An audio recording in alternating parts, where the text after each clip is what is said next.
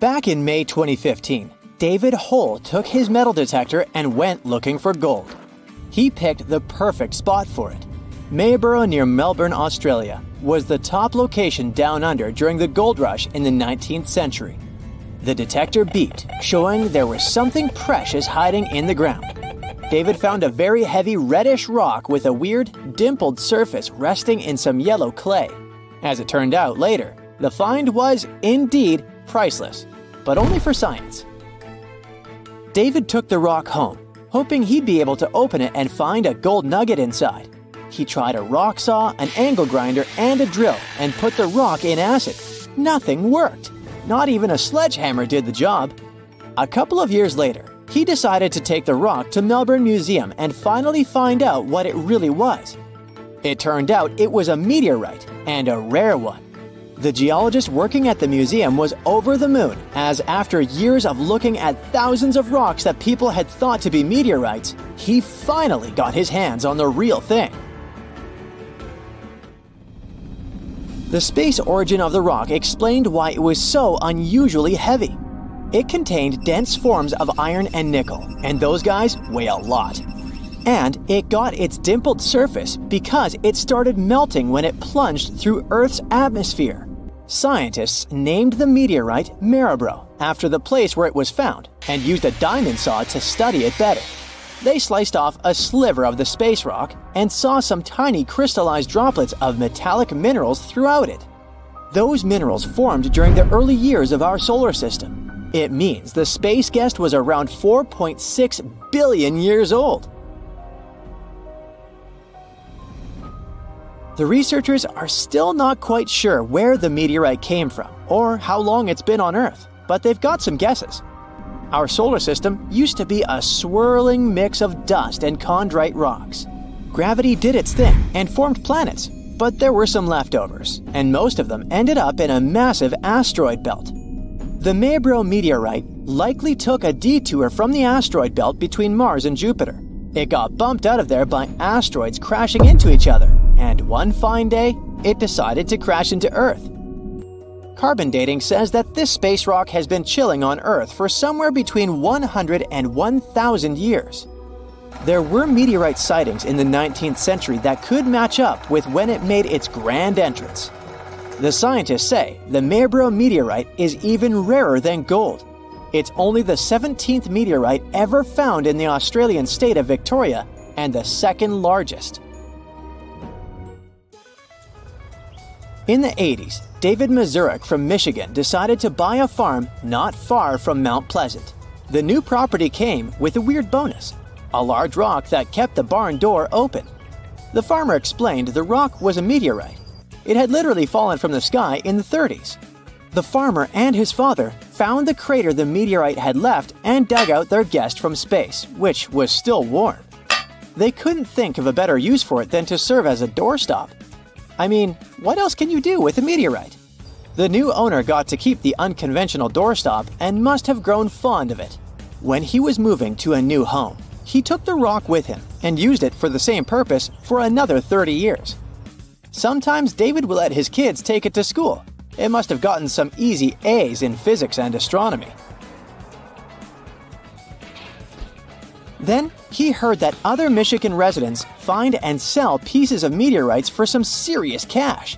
Since his piece was an impressive 22 pounds, he decided to take it to Central Michigan University to find out its value. A local geology professor was getting tired of similar requests because, for around 18 years, she had to explain to people all the rocks they had brought her weren't meteorites at all. But this time, she felt it was the real thing. She tested the rock and determined it was a meteorite made from iron and nickel. It turned out to be the sixth largest recorded find of this kind in Michigan, and the most valuable specimen she's ever worked with. They sent a slice for another round of verification to the Smithsonian Institute in Washington, D.C., and soon it was all official.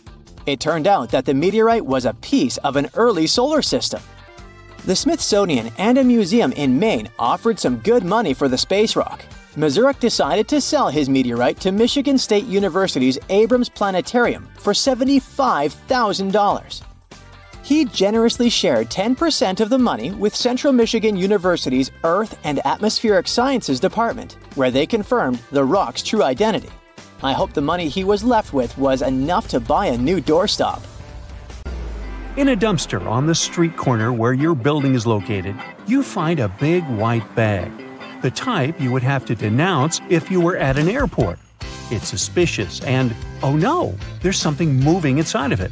You dare to approach it, carefully of course. You want to open it, but decide it's better to do it with a long stick. So that's what you decide to do, only to find out that inside it there are over 10 live coiled snakes. I mean, who throws away a bag of snakes? Even if the situation is a big security hazard, it happened several years ago in England. Well, that was shocking, but you came out of it with all your fingers, so that's a win. Further down the street, you spot another live animal running around all by itself. It's a chicken this time. You look around to see if you can find its owner, but the chicken seems to be completely on its own. What is this supposed to be? A remake of the Chicken Run movie? Or is this what they call a free range chicken in city areas? Now, if you guessed this was real, you guessed right. It also happened in England, where a CCTV camera caught footage of this weird event. Now, if you want to multiply that by millions, then check out the island of Oahu in Hawaii, where fabulous flocks of feral chickens roam around the place free as a bird. Meanwhile, you approach a part of the town that's neighbored by a small forest and decide to explore a bit. You don't come here much, so everything is kind of a surprise. You come to the first figure that makes you a little scared.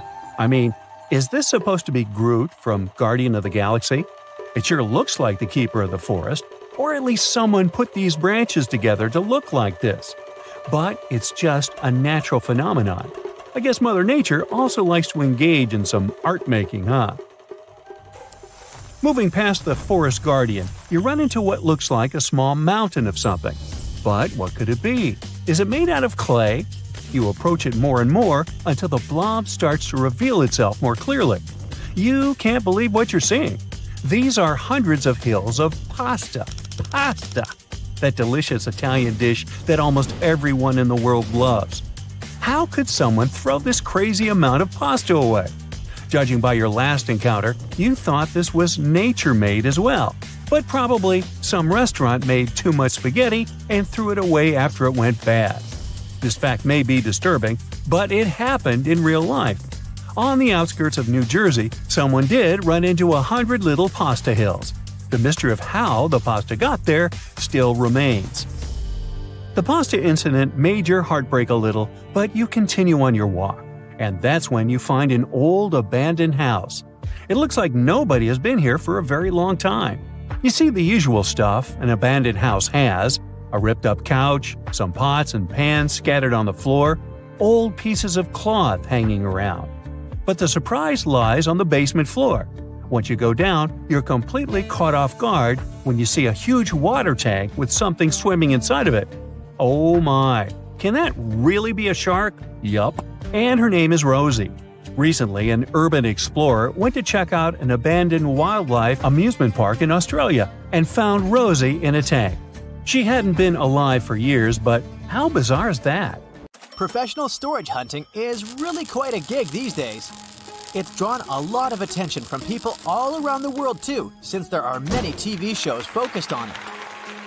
But it's not just storage hunters that can hit the jackpot with their findings. One couple from Arizona simply wanted a couch, but they weren't willing to buy a new one or pay a lot of money for it, so they participated in an auction where they made a $10 offer for an old couch. Since that piece of furniture wasn't in the best shape, they ended up purchasing the couch and the container it came in.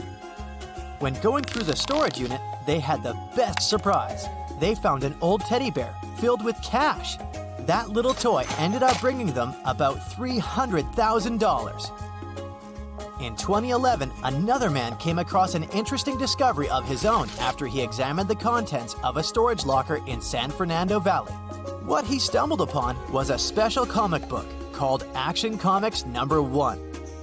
The man didn't really know how valuable his finding was until he took it to an expert for further evaluation. Turned out, the comic book was actually the first one featuring Superman. But as much as he wanted to profit from it, the man had to give it back to the previous owner. The story goes that the comic book was stolen from a famous actor who was himself really passionate about comics and Superman in particular. The actor had reported the book as missing to his insurance company and authorities, but it couldn't be found.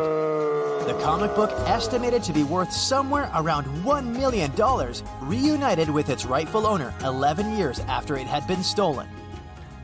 Another incredible vintage object was found in a storage unit in Melbourne, Australia. It was a 1927 Harley Davidson 8 valve racer with a sidecar. Based on experts' opinion, this fascinating vehicle had been sitting there for over half a century before resurfacing in 2015. It went for sale pretty soon afterwards and was purchased for a whopping $470,000.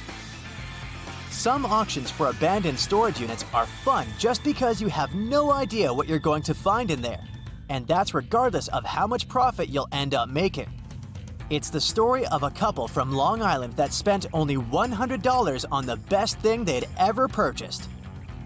Hidden inside their mystery unit was a custom 1976 Lotus Esprit Sport. Not only was this car special because of its design, but it was also the car that was used in the 1977 James Bond movie The Spy Who Loved Me. At first, the couple had no idea the car was a famous one, so they just looked at how they could fix it so they could continue using it. I mean, it did look pretty cool.